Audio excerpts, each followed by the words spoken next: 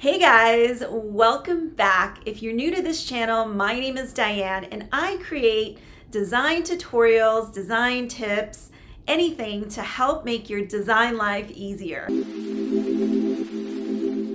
In this video, I want to show you how to use your own photos for your Zoom video calls. So let's go ahead and get started. Hey guys, welcome back. So in this video, we're going to talk about how to upload your Zoom background. This could be perfect for when you're in your meetings or if you're talking to a friend like I am with my friend Monica.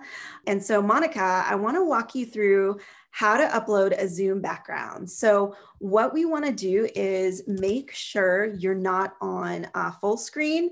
So we'll go to our menu where it says zoom.us on the left-hand corner, and then we'll go to preferences. And from here, we'll go to background and filters.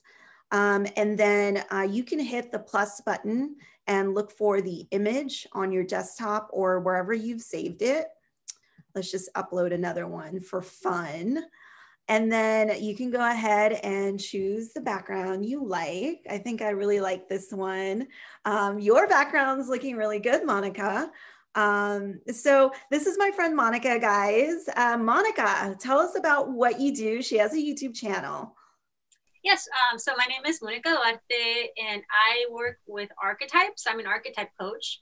And basically, what I do is I help people to um, create an authentic life and brand. So if you have a business, um, you can work with archetypes to create an authentic brand that actually resonates with you and the right audience.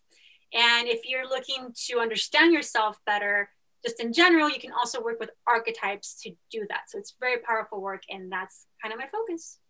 That's awesome. So, guys, if you are interested in working with a brand strategist, um, Monica's awesome. Um, she's more like a brand strategist now, but she also has a background in design. So I'll drop in her uh, YouTube channel link below this video, and hopefully you guys can check her out later.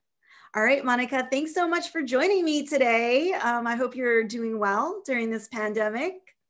I am. I'm doing really well. Awesome. All right, guys, we'll see you next time. Bye.